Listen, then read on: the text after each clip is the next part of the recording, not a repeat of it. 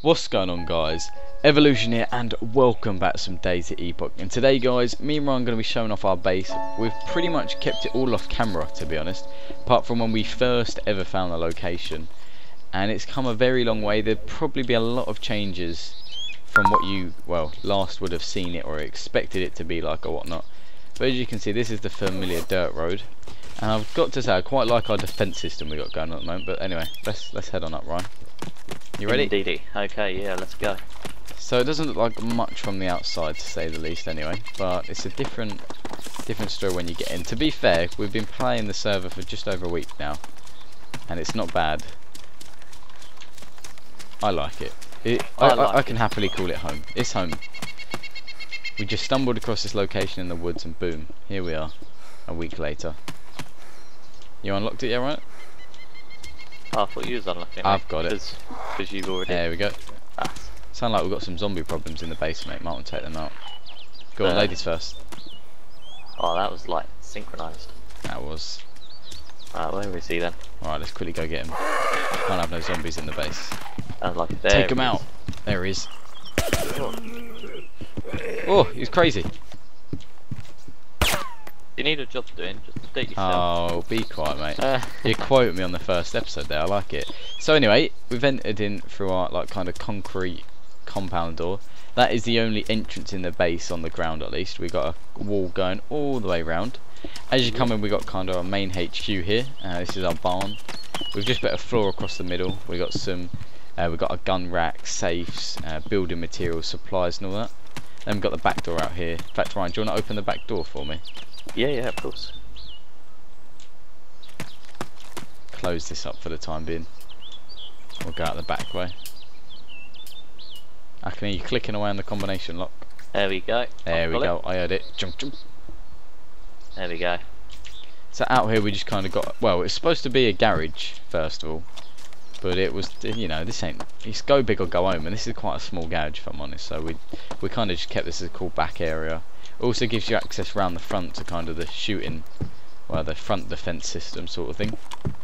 Uh, it's far from finished, but it's you know it's it's complete enough to be a living standard at the moment. Then we got, as I said, there's the garage door because it was, as I said, going to be a garage. Uh, we come round here, and then we got our main actual garage, and then on top we got the helipad. If I quickly run up top, here's our helipad with Ryan's heli on here. It's a it's a decent size. It lands pretty large helicopters. But You'd be uh, able to put the biggest helicopter on there, won't you? yeah, well, I think the ro the back the back wing would hang off a bit, but um, it would fit on anyway. It fits what we need to fit. Oh, I'm like jumping downstairs and downstairs. As you can see, we've got kind of garage down here. We've only got the one vehicle down at the moment, which is the SUV that we first ever started with. Uh, that's the same SUV from the camoed SUV episode where we brought it. It's still here to this day. You know, lasting us very long, doing us well, isn't it, Ryan?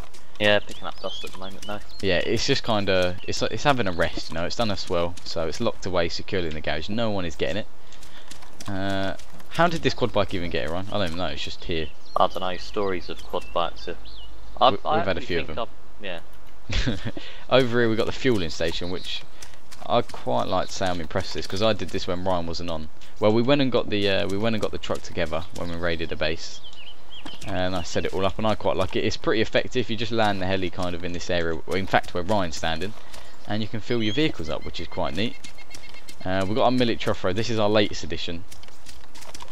Uh, the for helicopters are really, aren't they? Well, yeah, to the land vehicle. Sorry, this is our Yeah. latest vehicle, which we've been going around. Compared to the SUV, was what I was talking about. Yeah, yeah. Okay. This is our latest edition, and then recently uh, we brought these two helicopters. I've got one, and that's Ryan's up there on the helipad. They're quite cool.